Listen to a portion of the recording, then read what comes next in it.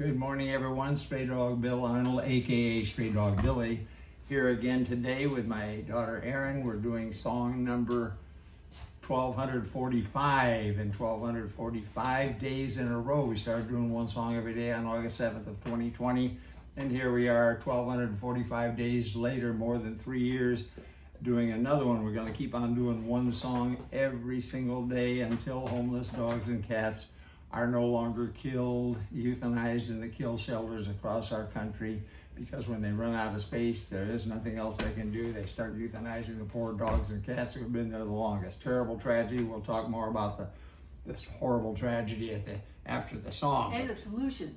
And the solution, yes. Uh, okay, let's do uh, song number, what, what is, oh yeah, Margaritaville. This is a Jimmy Buffett song.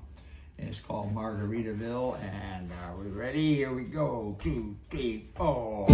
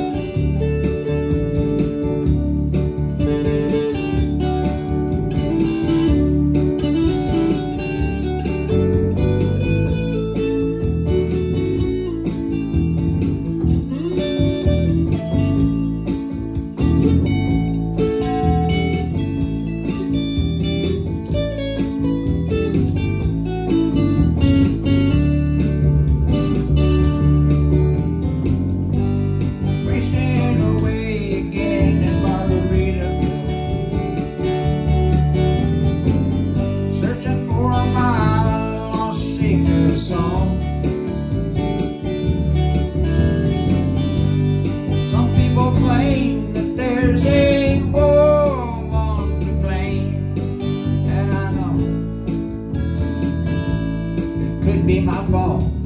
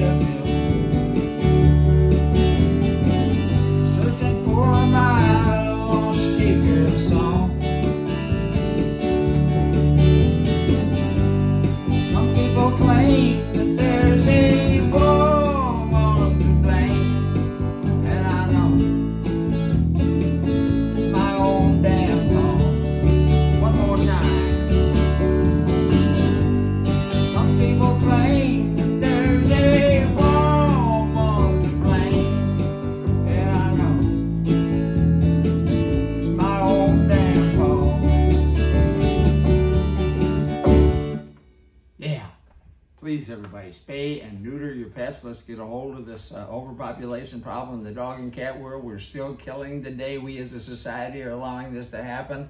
Over a thousand dogs and cats are still being killed on the average every day. 365,000 per year. It used to be much worse back in just uh, in 2011. It was 7,000 per day. And back in 1970, believe it or not, 41,000 dogs and cats were killed on the average every single day. 41,000 per day. That's how bad it was. 15 million that year. Divide that by 365, you get 41,000 per day. Terrible, terrible tragedy that this is going on. It can be stopped. We've got to get control of conception in the dog and cat world. Only allow them to conceive and have puppies and kittens. And, and, and if we we guarantee that they're that they will be taken care of and and have fine homes and so forth. We cannot kill. We cannot keep on killing these beautiful animals that were born and and shouldn't have shouldn't have been conceived in the first place. Now, today we're going to do the longer version of the of the show and talk a little bit about uh, uh, stray dog, no kill dog shelter. Erin's mother and I started the shelter back in in, uh, in 1994. We became a Texas nonprofit corporation and in, in 1997, and that led to applying for and receiving from the IRS 501c3 tax exempt status, making all donations all contributions to the shelter tax deductible. You can go online, if you could please, at straydog.org and make a tax deductible donation. Costs a lot more money to run a no-kill dog shelter. Before I go on, though, I want to uh, mention that uh, the Pat Arnold, the late Pat Arnold, who was really the founder of our shelter, uh, uh, she she and I started it, so I'm co-founder too. But we uh, back and she passed on uh, over 20 years ago now, and, and in 2003, a terrible tragedy. She was out taking care of the dogs one day, and she suffered a brain aneurysm. You don't know those things are coming, uh, and she passed on the next day. Terrible, terrible tragedy for all of us.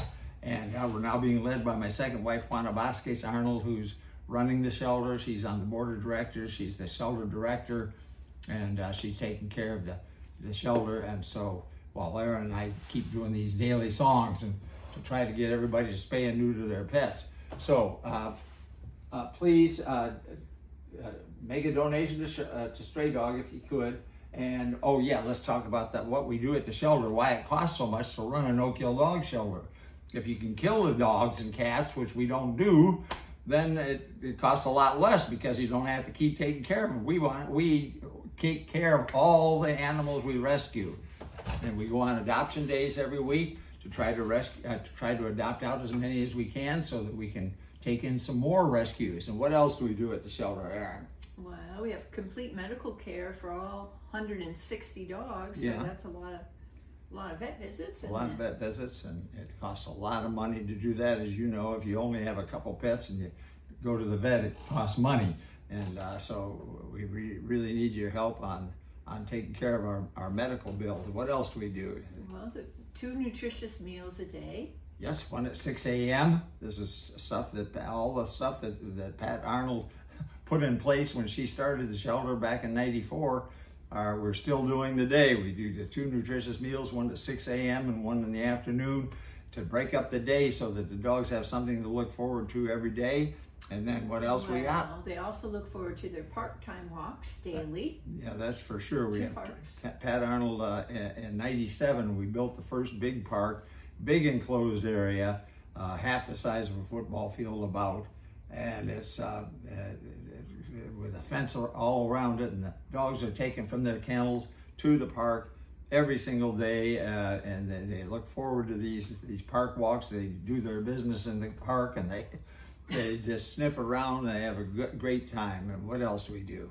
Well, the kennels are cleaned up after the meals, and holes are filled in, and check yeah, the they, fences they are check checked. the fencing. Hay in the winter time, and there's a lot of kennel work. Yeah, there's a lot of kennel work to do every single day, and we have a crew of about 10 people that help out do all this this work every day. Plus, we have uh, well the caregiving rounds too. They all all the dogs look forward to their meals, their part-time walks, and their the caregiving rounds, the caregivers go into each and every kennel and sit with the dogs and rub their tummies and play ball with the ones who love to play ball. And so they, they, they really enjoy that. And then we also have 24 7 coverage as an overnight person.